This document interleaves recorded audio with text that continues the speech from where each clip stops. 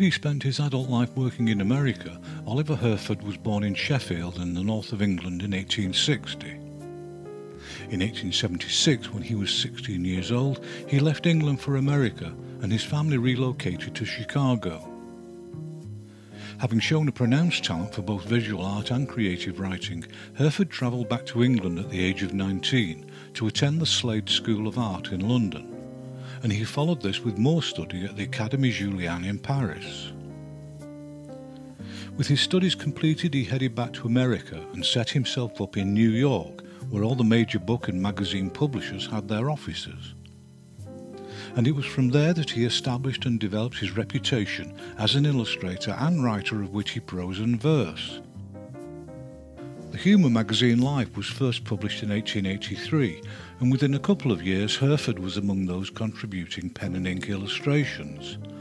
And although he was never what you would call a frequent contributor, his illustrations continued to appear in its pages and on its covers for the next three decades. His early work had to be translated through engraving for reproduction, but when photolithography became more widely used, he developed a lighter, more spontaneous technique in 1894 he published his illustrated book of verse, Artful Antics, which featured a large volume of amusing pen and ink spot illustrations. And this was followed a year later by a series of particularly accomplished full-page monochromes for Joel Chandler Harris's book Mr. Rabbit at Home. And the success of this book greatly increased his visibility and popularity. In 1898 he both wrote and illustrated The Bashful Earthquake, a collection of absurd frivolous verse accompanied by equally whimsical line illustrations. His Alphabet of Celebrities was published in 1899 and this book marked a change in his stylistic approach, with a series of much blockier woodcut style pen drawings. And he persisted with this more graphic approach for 1900's A Child's Primer of Natural History, which featured simple but descriptive monochromes of amusing animals, alongside his comic verses on the facing pages. In 1904 he branched out stylistically again with the rubaiyat of a Persian kitten, with illustrations which were created with wax crayon directly onto lithographic stone. The use of this technique created a whole new stylistic persona in his work, and he returned to it soon after for the Kitten's Garden of Verses. Herford's success as both a writer and illustrator of books continued throughout the early decades of the 20th century, with any number of projects, including a 1917 line-only edition of Alice in Wonderland. And as time went on, he increasingly appeared in several popular magazines, including the Ladies' Home Journal. Frequently these images were published in full colour, and in their creation he didn't rely on an ink line, but instead used carefully applied tonal application to create the illusion of depth and substance. For the rest of his career, Herford continued to enjoy popular and critical success, and as well as several more illustrated books, his amusing full-colour sequential series about the misadventures of the couple Jill and Toby ran in the Mentor magazine for several years into the 1930s but its run came to an end when, after a lifetime of productive creativity, Oliver Herford died at the age of 75 in 1935. Charles Genty was a French illustrator and artist who worked successfully in paint, pen and ink, wood engraving and etching, but very few now know his name even in France. He was born in 1876 in the town of Jargeau near Orléans. In his late teens, he studied art briefly with the painter Fernand Cormon, but subsequently enlisted as a soldier in the French army in 1896.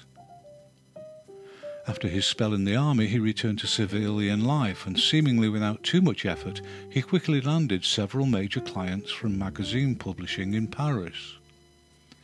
Among them were Le Rire and La Baïonnette, both of which kept him in regular work and in 1902 the book Bonhomme de Paris by André Bonnier was published, featuring illustrations by Genty, and this gave his growing reputation an additional boost. But at this point it was work for magazines which dominated his output. When war came in 1914 he fought at the front against the Germans, and the atrocities he witnessed led to an understandable lifelong hatred of all things Germanic. Despite being a combatant, he also found time to create some rather cheerful takes on military life during wartime, which were published in La Baïonnette. Once the war had ended, Genty carried on with his magazine work, but he also began producing illustrations for novels, many of which were editions of the classic works of Honoré de Balzac. For these books he chose to create many of his images, although not all of them, as etchings, and some were printed in colour but most were monochrome.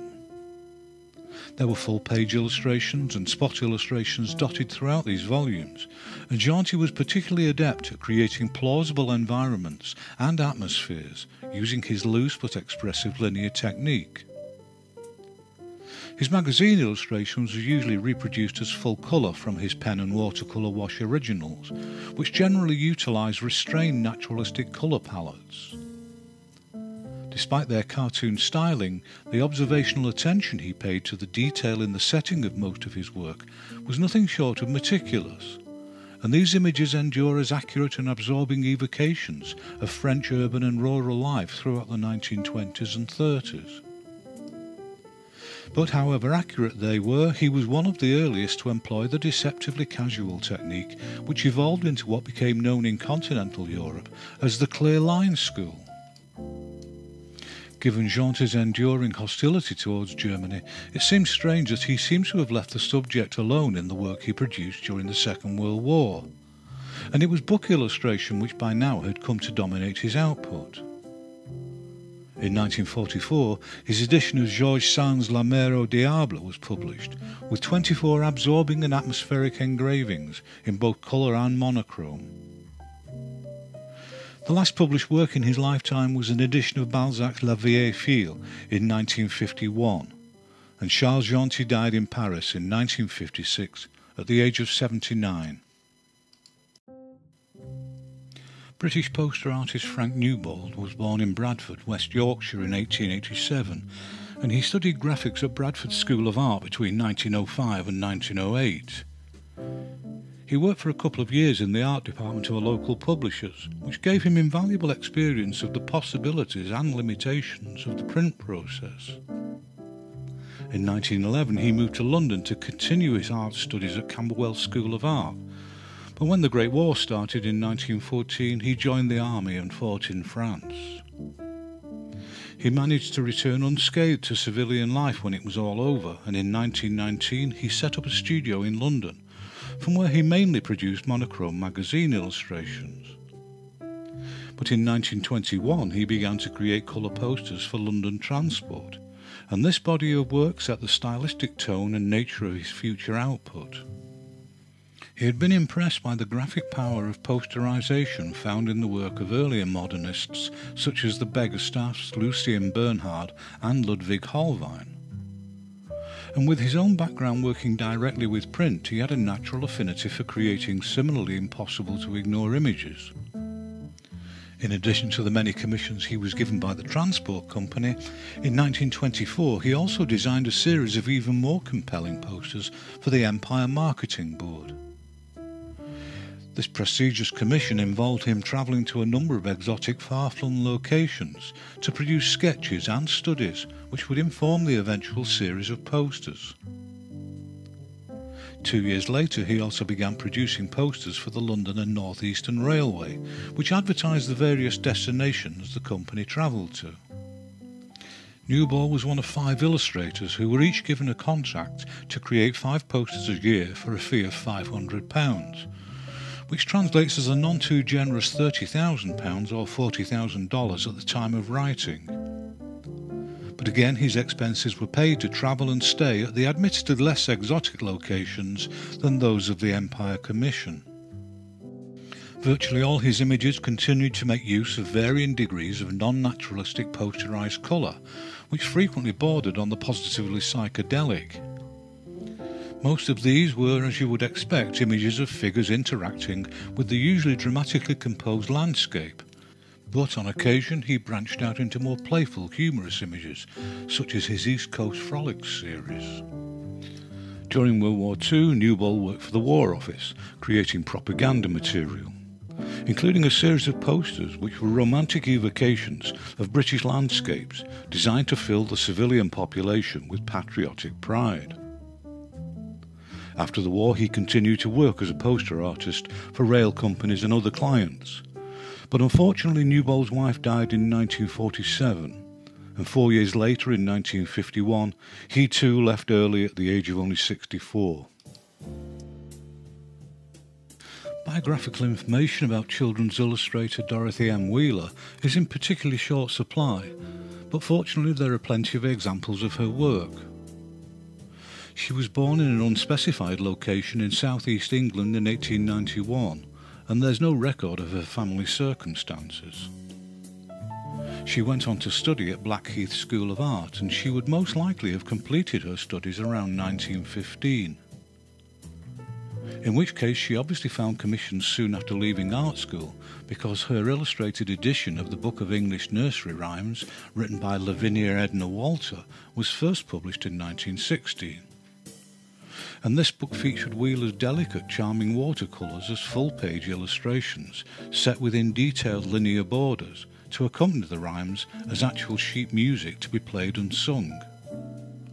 Four years later, a series of her charming fairy themed watercolours was published as a set of postcards, which also proved to be very popular with the British public. More books of fairy and woodland fantasy followed in the next two decades, all of which featured her finely controlled calligraphic line work and bright washes of tonal watercolour. In 1939, she was chosen to illustrate her first Enid Blyton book, The Enchanted Wood, and later in the same year she illustrated another, The Little Tree House. For younger viewers and those in other countries who are probably unaware of Blyton, she was easily the most popular British children's author of the 20th century, so this association greatly enhanced Wheeler's reputation. Although the work she created for the Blyton books generally continued to use the same method as her earlier output, the line work became bolder and the application of colour more simplistic than previously. Whether this was her decision or that of the publishers, I don't know, but it did serve to make her style more contemporary, even if not as sensitive. For the next quarter of a century, Wheeler continued to illustrate an astonishing volume of Blyton stories. Quite a few of these were series of books about particular characters, and they appeared in a number of different formats using full and spot colour as well as monochrome line and the immense success of the books inevitably led to other printed material, including playing cards and calendars based on the characters from the various stories she illustrated. And it seems the only time in her later career that Wheeler created anything that wasn't connected to Blyton was when she wrote and illustrated her own version of The Three Little Pigs in 1951. But she was still illustrating Blyton books up to the year she died in 1966 at the age of 75. And that's the end of another instalment, and I hope our paths converge again when the next one's uploaded.